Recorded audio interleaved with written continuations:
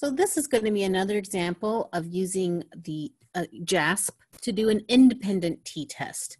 So I made this fake data where I recorded whether people were on a Mac or a PC and the time it took them to troubleshoot a problem.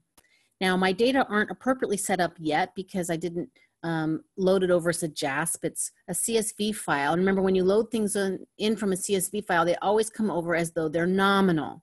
Now I can't change this one to not be nominal because these are words. So there's no way words can be scalar. So even if I tried to click scale, it wouldn't let me.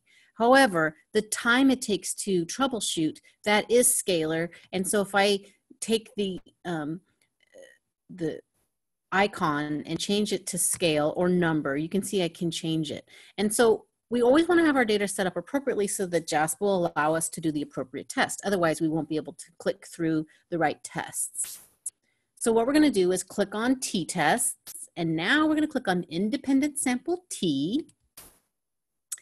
So remember how this works is our dependent variable, that's the outcome of interest. So time here is our outcome of interest. And if you're not sure, JASP is helping you out. Here's a ruler icon. So only the ruler icon would work here.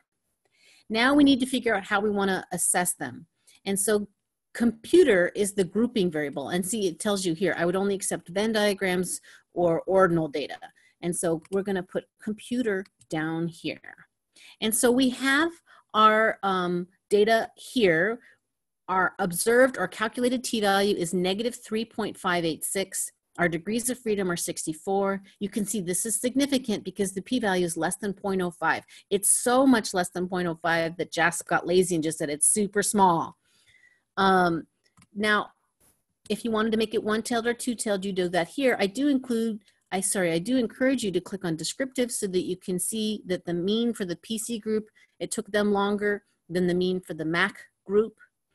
Um, if you wanted to change the order of the Mac and the PCs, so let's say you wanted it to, in this case it's Mac minus PC, let's say you wanted it to be PC minus Mac, what you would have to do is go into the data um, in the and edit the column. So if you're in a new version of JASP, it doesn't have the OK button. But what I'm going to do is come back here and click Computer, and I'm just going to change the order. So you see how um, PC is coming before Mac?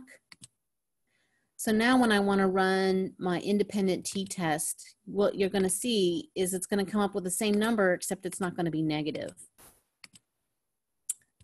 So what you can see over here is now it's doing PC minus Mac. PC is first. It's the same number, 3.586, but it's not negative because I reversed the order. So you have to choose which one you think is most important and put that in the column first um, or change the order in your column so that you're able to interpret this data. And this is also a reason why this descriptive report helps because now we can see the mean for the PC users was higher than the mean for the Mac users. But the bulk of what we needed was our calculated t-value and whether that was significant by looking at the p-value.